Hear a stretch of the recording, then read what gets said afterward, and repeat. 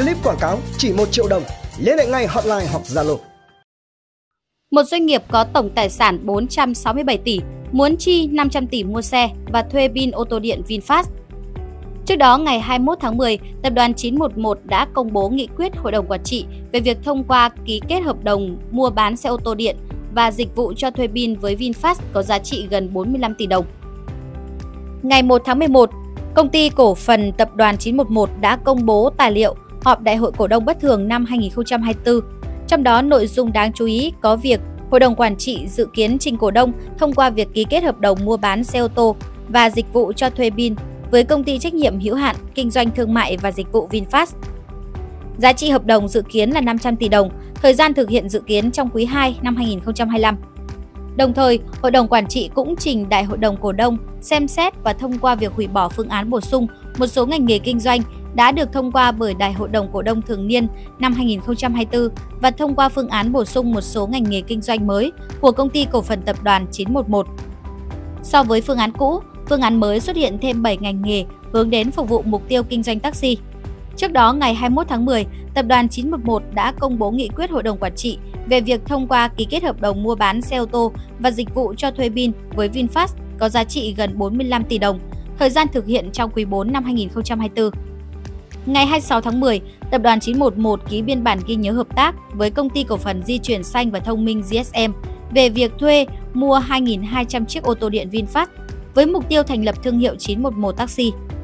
Theo thỏa thuận, trong số 2.200 xe, 200 chiếc đầu tiên sẽ được GSM bàn giao cho tập đoàn 911 để đưa vào vận hành ngay trong quý 4 năm 2024.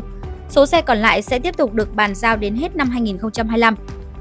Theo giới thiệu trên website công ty, việc ký kết hợp đồng với VinFast để mua xe điện trong bối cảnh tập đoàn 911 đang có kế hoạch mở rộng kinh doanh thêm lĩnh vực mới với mục tiêu đa dạng hóa nguồn thu bên cạnh kinh doanh thiết bị xây dựng, chạm trộn bê tông, xe nâng. Được biết, tập đoàn 911 tiền thân là công ty cổ phần thiết bị nền móng 911 được thành lập ngày 22 tháng 3 năm 2011. Tập đoàn 911 đang kinh doanh chủ yếu trong lĩnh vực mua bán thiết bị xây dựng, chạm trộn bê tông, xe nâng, trong đó các sản phẩm nhập khẩu từ các quốc gia như Hàn Quốc, Nhật Bản, Trung Quốc với nhiều thương hiệu lớn như XCMG, Zestone, EP Equip. Trở lại với kế hoạch mở rộng kinh doanh lĩnh vực mới, tại cuộc gặp gỡ 70 doanh nhân đại diện cho 50 hãng xe trong lĩnh vực vận tải tại Hà Nội, trong tháng 9 năm 2024 của tỷ phú Phạm Nhật Vượng, ông Lưu Đình Tuấn, Chủ tịch Hội đồng Quản trị Tập đoàn 911 chia sẻ, kế hoạch phát triển dịch vụ taxi mang nhãn hiệu 911 Taxi với mục tiêu đến cuối năm 2024 sẽ phát triển hơn 200 xe. Tới cuối năm 2025 sẽ mở rộng lên hơn 2.200 xe, tập trung ban đầu phủ kín ở tỉnh Đồng Nai, Bình Dương và sau đó sẽ mở rộng sang các khu vực và thành phố khác trên cả nước. Lý giải về việc hợp tác toàn diện với VinFast để phát triển dịch vụ taxi xanh, ông Lưu Đình Tuấn cho biết, với định hướng Net Zero vào năm 2050, chính phủ đang và tiếp tục tạo hành lang pháp lý khuyến khích doanh nghiệp chuyển đổi từ xe xăng sang xe điện. Đây là cơ sở cho nhóm doanh nghiệp đi đầu tận dụng cơ hội chiếm lĩnh thị phần. Về kết quả kinh doanh, lũy kế 9 tháng đầu năm, công ty ghi nhận doanh thu thuần đạt 672 tỷ đồng và lãi sau thuế hơn 19 tỷ đồng, tăng lần lượt 63% và 211% so với cùng kỳ năm trước. Tại thời điểm ngày 30 tháng 9 năm 2024, tổng tài sản đạt gần 467 tỷ đồng, tăng gần 7% so với cùng kỳ. Lượng tiền nắm giữ hiện đạt gần 54 tỷ đồng.